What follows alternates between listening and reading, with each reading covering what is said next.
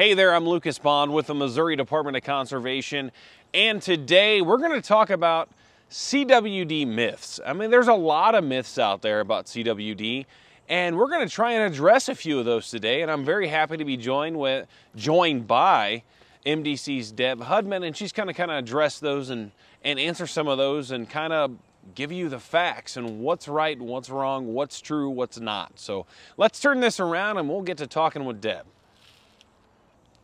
All right, Deb. So we're talking CWD myths. So one of the big myths that go around that people have been really talking about saying that, you know, chronic wasting disease in deer has always been here and always been on the landscape. Is that correct or is that just a myth? That's a myth. And if CWD had always been on the landscape, then we would not be seeing this increased or this expansion of CWD around the state. Um, we've been We've even sampled for CWD prior to our first detection. We, we acquired over 30,000 samples prior to the first detection. And now that we've had, it's been detected in the state for about 12 years, so we've been seeing a progression of this disease across the state. So um, if that was, if it's always been here, that wouldn't be, we wouldn't be witnessing that kind of expansion. And that's why it's so important, right, that we manage this disease. Absolutely.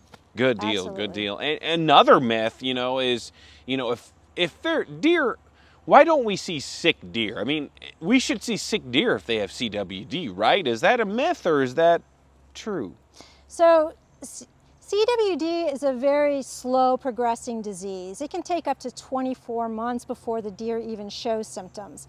It doesn't mean that the deer is not sick or not suffering consequences of that disease, but we don't see it outwardly. Um, so for instance, if we compare it to humans who have heart disease, we can't tell if their arteries are being clogged, right? We don't know that they're potentially going to have a heart attack. We can't see that. Um, so that this disease is similar in that it's, it's causing issues with the brain, so it's a neurodegenerative disease. So these prions, they clump together and they form these little holes in the brain matter, which makes the, the deer less responsive and their motor skills are affected. And so all those things that typically kill deer do so at a higher prevalence than deer that aren't infected with CWD. So things that typically kill deer like auto collisions, predation, and uh, hunting happen to deer more readily with that have CWD as opposed to those that don't. And that's why that's why then you would suggest it's very important to get your deer sampled, right? Because of those that are more likely to the deer to be killed would be from could be CWD related. Absolutely, yes. So in fact, all of the sick deer that have been reported to us this year that we've tested have been negative for CWD. So it's really important to get them tested because they don't necessarily outwardly are showing those symptoms. You know, and as we're going on this myth, this isn't a myth per se, but since we're on the topic of usually you won't see signs of CWD until 24 months like you suggested.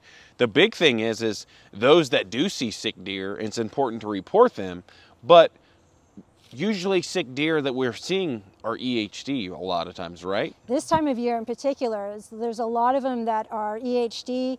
There's also a lot of brain abscesses that occur. There's lumpy jaw. There's a variety of reasons that, that deer normally die from, yeah. All right, I appreciate it. Thank you so much, Deb, and thank you all for tuning in and learning more about the myths of CWD. You can find more information on our website at mdc.mo.gov forward slash CWD. Thank you very much and have a great rest of the day.